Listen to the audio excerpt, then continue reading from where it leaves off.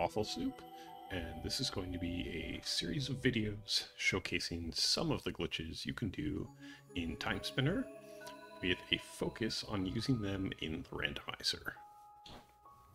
Uh, the first one I'm going to cover today is going to be the crouch state glitch, uh, which is probably the most useful out of all of the glitches I'll be showcasing. Uh, you can technically do this glitch at any time, but to really take advantage of it, you do need the Succubus hairpin for double jump. And it is real simple. All you do is crouch, and then both backdash and attack on the same frame. Like that, you'll know you did it correctly, as you will, will both not backdash and not attack with an orb. What this does is now Lunais, the main character, is stuck in the crouched state with a smaller hitbox, though it may not look like it. Uh, and with double jump, you can use this to clip out of bounds up and over doors, platforms, vines, and stuff like that. So if we just double jump up and over, you can see we've gotten through here without needing to go burn the vines.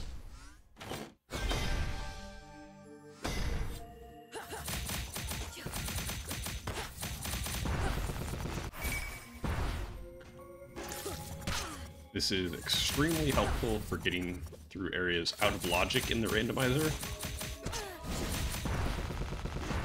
Doesn't take much.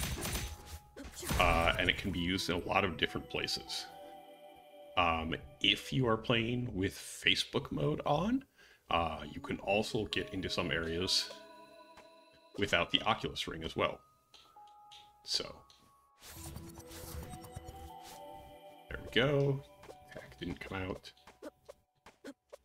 This one's a little bit more difficult. A little bit more precise. Go into here.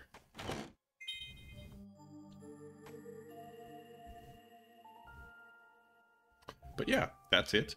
Um, if you attack with an orb, uh, get hit by an enemy or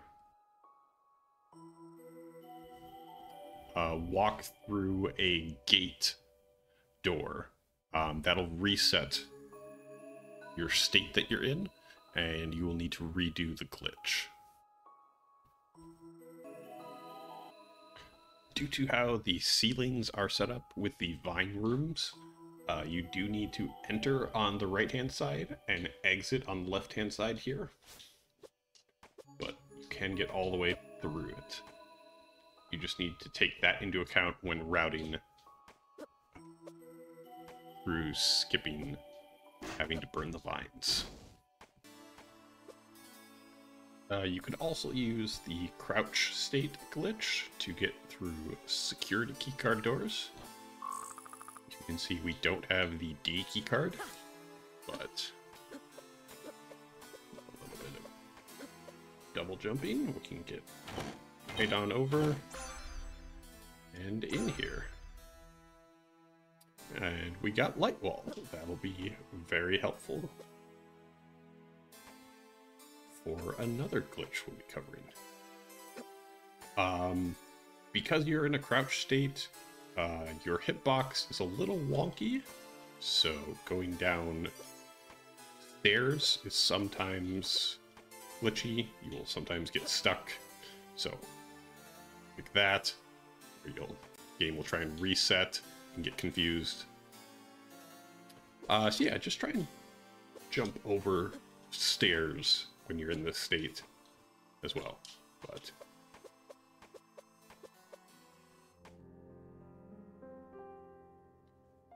uh, Lunais is crouched, so she also won't get hit by the copter here that normally hits you.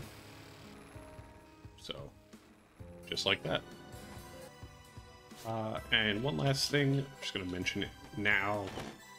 might not come up later. Uh, you also can use this to get past uh, the pink door in the past and the laser gates in the lab. So every single key card, that particular door, and the laser gates as well are not obstacles for you anymore once you master this simple trick.